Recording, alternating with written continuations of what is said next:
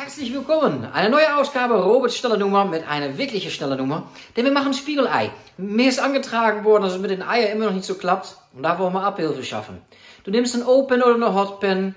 Du brauchst ähm, einen Stich Butter oder einen Teelöffel Öl. Und natürlich Bio-Eier. Und wie das alles funktioniert, seht ihr in diesem Video. Jetzt packst du deine Pfanne auf dem Herd, machst dein Butter oder Öl rein, höchste Stufe und wenn der Öl flüssig wird, respektive die Butterbläschen schlägt, kannst du das Ei schon reinmachen. Ach ja, und nicht vergessen, sobald du die Eier reinmachst, machst du den Herd aus. Und jetzt lassen wir das einfach ein paar Minuten brutzeln. Noch ein paar kurzen Tipps. Du kannst den Deckel da drauf machen, dann werden die Eier etwas schneller gar. Oder wenn du klassisch Sunny Side Up haben möchtest, brauchst du nichts mehr machen. Wenn du sie etwas krosser magst, machst du nach zwei Minuten noch etwa für 30 Sekunden den Herd an.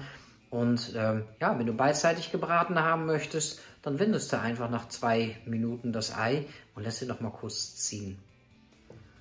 Wir sind jetzt gut zwei Minuten weiter und schwubbeldiwupp, das Ei ist frei. Und schon sind wir fertig. Stückchen Brot, ein leckeren Spiegelei. Ich zeige euch nochmal die letzten Fotos. Ja, was soll ich sagen, für Kosten brauche ich glaube ich nicht. Stay in touch with the Dutch, bleib gesund und hoffentlich bis bald. Ciao, ciao.